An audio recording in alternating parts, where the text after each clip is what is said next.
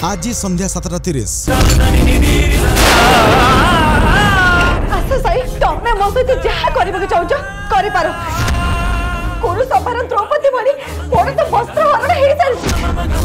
ତମକୁ ତେଣୁ କାହିଁକି ଲାଜ ଲାଗୁଛି ମତେ ଯାହା ସାଇ ସାଇ ଶ୍ରଦ୍ଧାଙ୍କ ମଝିରେ ଉଠିଲା ପାଚେରୀ କ'ଣ ସବୁଦିନ ପାଇଁ ଭାଙ୍ଗିଯିବ ଏ ସମ୍ପର୍କ ଡାବରରେ ଟୁଥପେଷ୍ଟ ପ୍ରୁଜେନ୍ସ କୁଆରୀ ବୋହୁ ଆଜି ସନ୍ଧ୍ୟା ସାତଟା ତିରିଶ କେବଳ ତରଙ୍ଗରେ